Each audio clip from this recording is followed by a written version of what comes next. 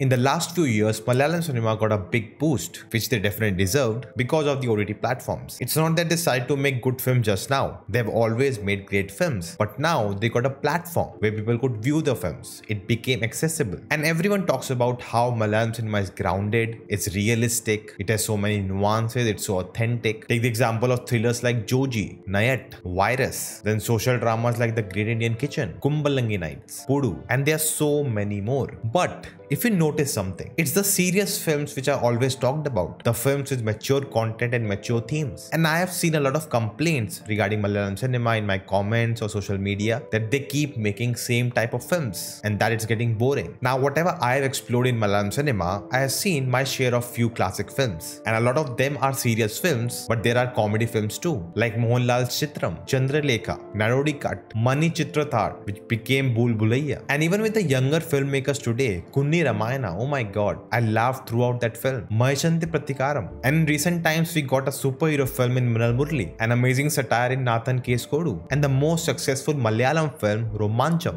which is a horror comedy. So, you know, there's a mix of everything. But there have been few films in the last one year that has shown us another side, another dimension of Malayalam cinema. These were some of the most craziest films which blew our minds. And we beg the question, how does Malayalam cinema do it? Every time, coming up with something fresh, something unique, experimenting, reinventing themselves. So let's talk about five such films and you can let me know your thoughts in the comments about them. The first one is Jaane Man. We actually did a reaction to this film. You can check out on the channel. I'll link it here with Ashmita Chechi from I Just Direct and Review. And this film is chaotic and it's surprising that it's flawless. It does it so well. The film is totally unpredictable. There are so many unexpected twists and turns and the way the film starts, you can never imagine how it will end. You have never seen anything like like And I love the theme and the message of the film. It's talking about loneliness, it's talking about hate, trauma, and how all of it can be solved by empathy and love. At the end of the day, we all are humans and we should just accept each other and live a better life. But all of this is done through situational comedy at its best. The next one is Jaya Jaya Jaya Jaya Hey. I think the best way to describe this film is what if The Great Kitchen was a comedy film? That's it. Now in the film's build up, it does get to very serious points, but when the turn happens, it becomes a satirical angle to tackle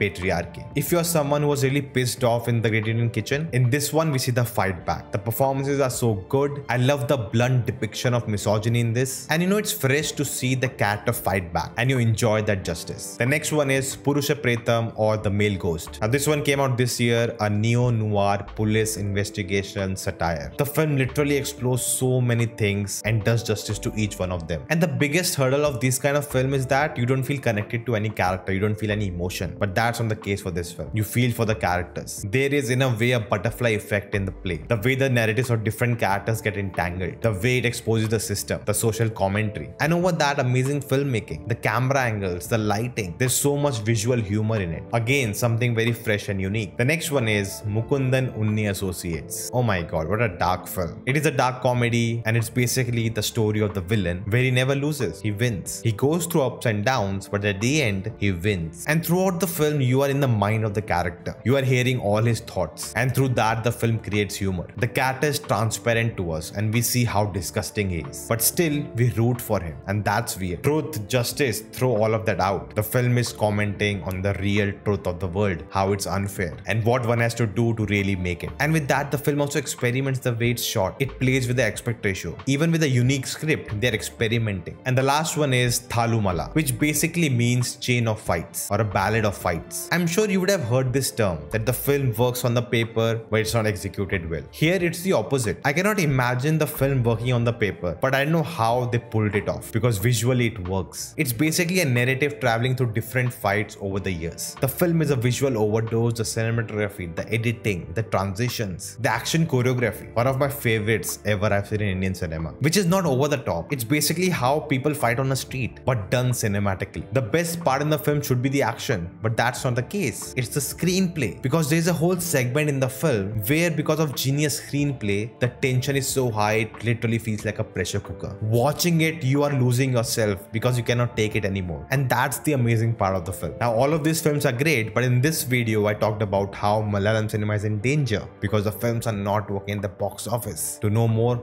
watch this video next. If you like this, hit the thumbs up button, share this and I'll see you next time.